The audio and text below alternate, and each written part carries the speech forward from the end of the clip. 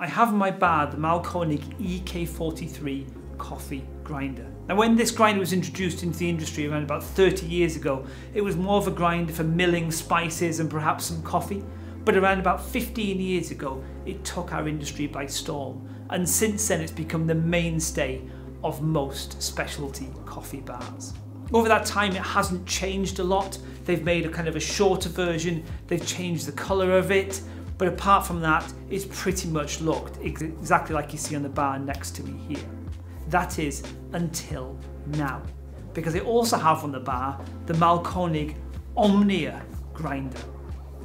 And this is a new, updated version of this classic. At the time of making this video, there are only 10 of these grinders in the UK, so I'm really lucky to get my hands on one of them.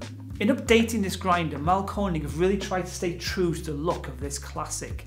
It's a bit more rounded in its styling, it's a bit less angular, but overall it has that kind of feel of being an EK.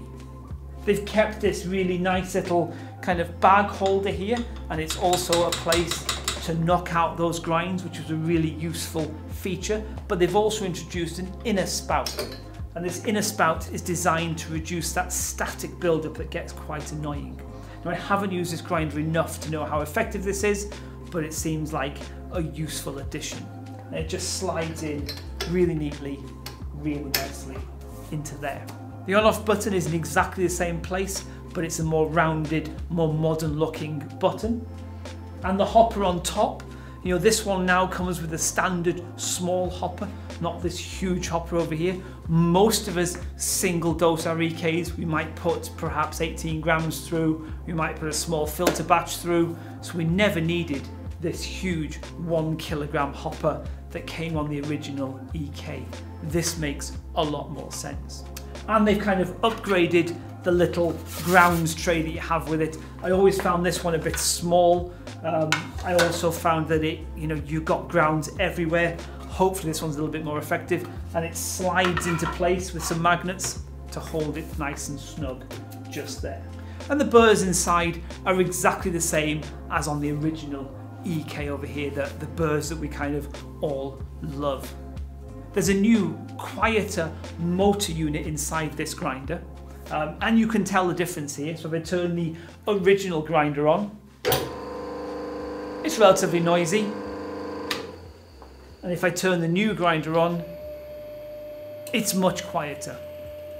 And that's not necessarily a good thing because when I was using this at the roastery with the background noise, I couldn't actually hear that the grinder was turned on and I had to press the button a couple of times before it registered that yeah, it was ready to grind coffee. But that's a minor point.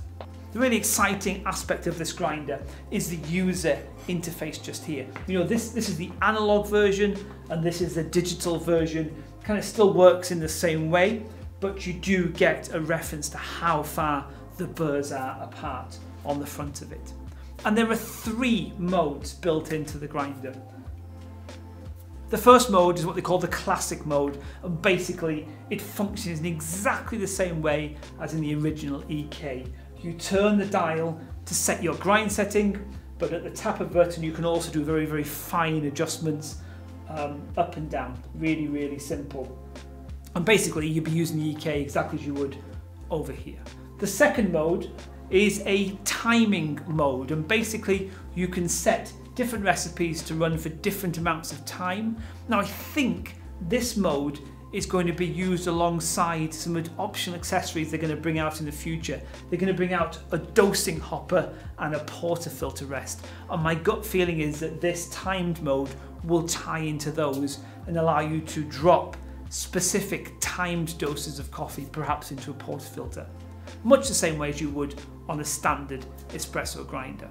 The mode I found most useful and the most exciting is what they call the library mode, the third mode, because this allows me to preset recipes into here. So for different coffees, I can create different grind settings and set them in. And at the touch of a button, flick between them. The grinder will automatically adjust itself.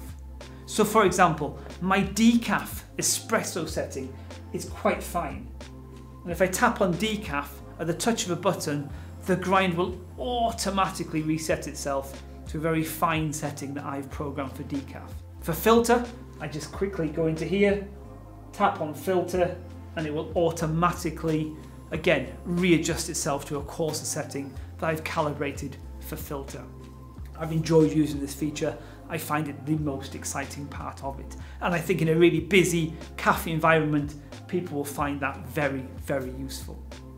I've not had much chance to play with this grinder. I've only had it for a couple of days and tomorrow it goes to a customer. This is my grinder. This I say goodbye to. And I'm a little bit sorry. I've a little bit fallen in love with it.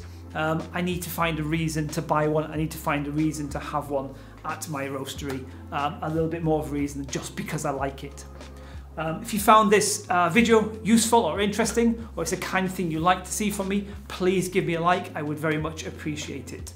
In the meantime, if you've got any thoughts, comments, or questions, please feel free to get in touch. Um, thanks for watching and have a great day.